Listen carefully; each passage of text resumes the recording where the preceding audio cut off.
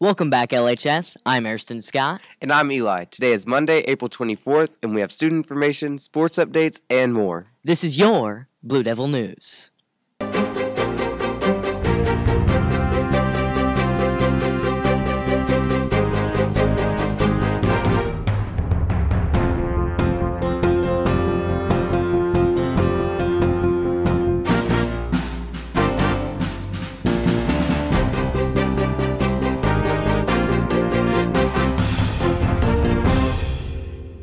Mrs. Alsop's Digital Art and Design 2 class is offering design services for clubs, sports, and other organizations in need. Email Mrs. Alsop with any requests for flyers, posters, or other graphics. Our spring musical, Mary Poppins, received multiple nominations for this year's Spotlight Awards. We'd like to congratulate the following people on their nominations Callie Cothran and Ella Collinsworth for All Star Crew, Carson Till and Grace Augusta for All Star Cast, Riley Taylor on Outstanding Dramatic Performer, CJ McClellan on Outstanding Dancer, and Grace Augusta on Outstanding Lead Performer. The musical as a whole also received nominations for Outstanding Music Direction, Outstanding Pit Orchestra, Outstanding Cast Vocals, and Crowd Pleaser Performance for Step in Time. Being nominated for these awards is a big accomplishment, and we wish you all the best of luck. The Lebanon High School FFA Livestock Evaluation Team placed second in district and 10th in the region out of 56 registered teams. The team was made up of Kaylee Nelson, John Hancock, Gavin Lowry, Trinea Shipman, and Kaylee Johnson.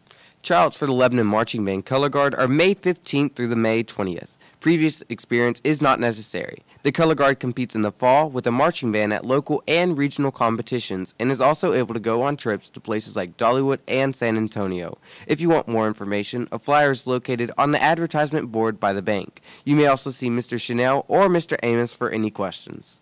Three Lebanon high school students signed with the Tennessee College of Applied Technology. Congratulations to Jonathan Diaz Munoz, Zachary Mowdy, and Owen Smith. Cheer tryouts will be held May 3rd through the 5th. If you're interested, please see Miss Mosley in room B204 or to pick up a tryout packet. We'll be right back after these quick segments.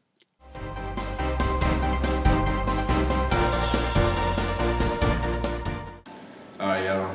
We're back here with another weather segment. As you can see, you know what I mean, the weather looks pretty nice out there. But um, you know what I mean? It's Monday, April 24th, and the um, the high for today is gonna be 60, and then the low is gonna be 33. And whenever we get out today, it's gonna be 60 degrees. So just literally right next to the high. So it's gonna be 60 degrees, right? And um, whenever you guys come in tomorrow, right, it's gonna be 43 degrees. So just make sure to bring a sweater, anything, you know what I mean? Just bring a sweater. But um, thank you guys so much for watching. Have a good day.